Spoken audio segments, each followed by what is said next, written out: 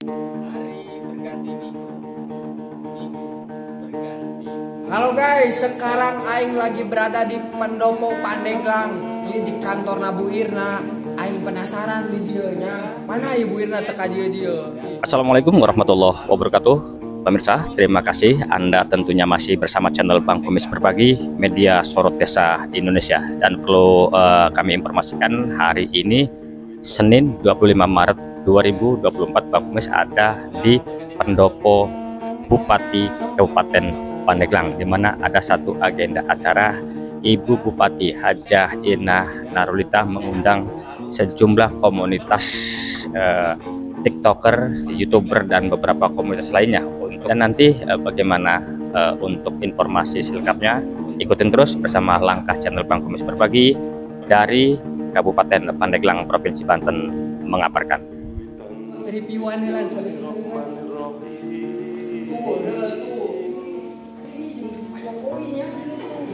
ada. Bagus amat ini ya. Laku ya. Eh, kenal di. Biasa ya, hayang iya, hayang ngomen iya bu. Ih, Bagus amat ibu. Ya Allah, udah lama ibu mau ketemu Aldi. Oh.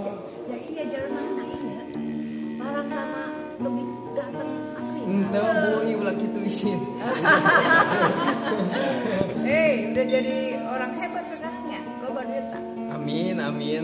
Kasih contoh yang lain supaya seperti Aldi sukses. Nah, coba kasih coba pesan pesan pesan Pesan-pesan buat anak muda. Oh, biar sukses kayak inti namanya ulah lo batein ngadengi kata motivasi. Percuma ai misalnya orang nanti gerak mah sarojeng tai. Lembur emang bener. Atuh. Eh, terus. atuhnya inti nama orang kudu daek bergerak lah gitunya kudu daek bergerak inti nama. nya ulah sare bae gitu. Kudu gerak lah pokoknya nama eh, soalnya eh, sukses eta ente kudu pinter. Nu inti nama orang kerja keras begitu ta.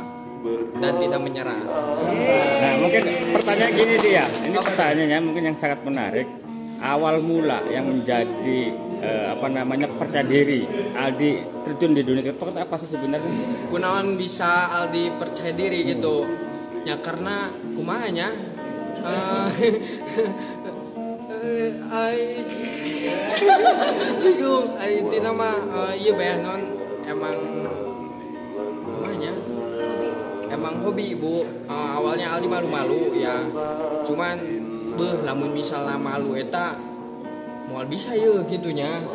Ta ya nah, ya udah Aldi memberanikan diri gitu ta. gitu soalnya malu itu eh, bisa menghambat kita untuk menuju kesuksesan Tuh, denger guys ya semua. jangan malu harus pede pokoknya mah arek banget aku mah aku mah harus pede Masya Allah, applause untuk Aldi.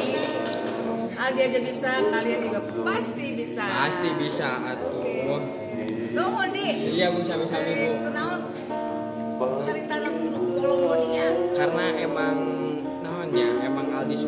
bilang polongo dia terus loba nu netizen tuh polongo dia terhibur gitu ya ya udah Aldi bikin ciri khas kita Polongo harus ya sukses maksudnya Aldi menghibur dan memantik supaya semuanya bisa sukses. Kaum perubahan, ayo bangkit. Ekonomi semakin baik, hadir para pemuda sukses. Nah, Bu, mungkin eh, mungkin sekalian Bu mumpung masih sama Aldi ya. Ini kan salah satu contoh anak muda yang punya kreativitas. Yang hari ini memang apakah memang sengaja diundang atau gimana sih Bu?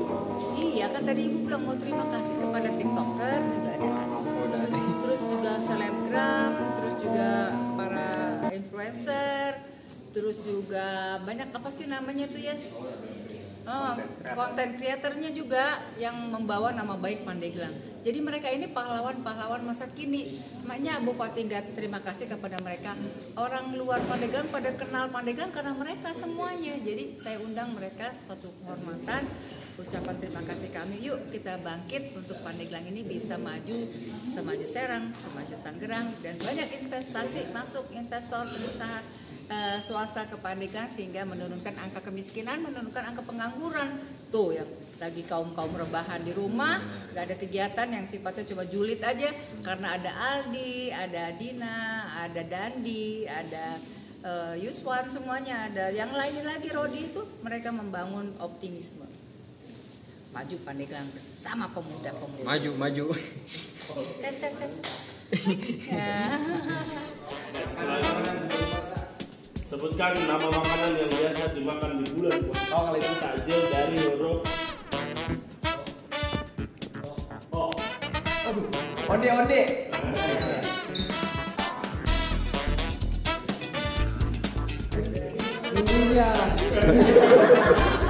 Kotak-kotak.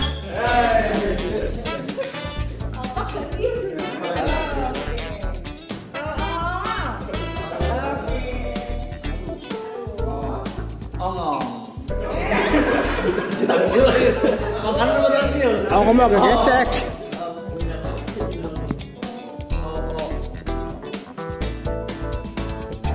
Onde udah. Udah udah. Udah di.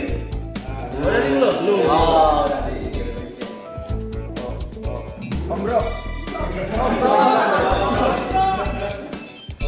Kata yang berawal dari C. Oh cerita, oh. Sadasari. Ah, benar. Sadasari benar.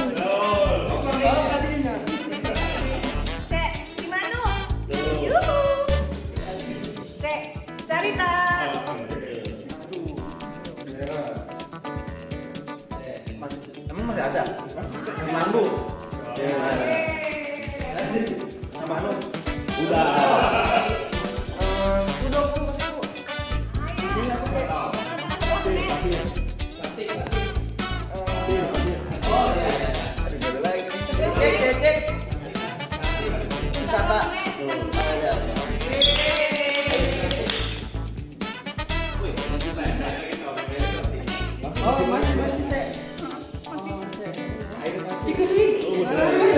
Ciri khas ciri khas Labuan ada ada.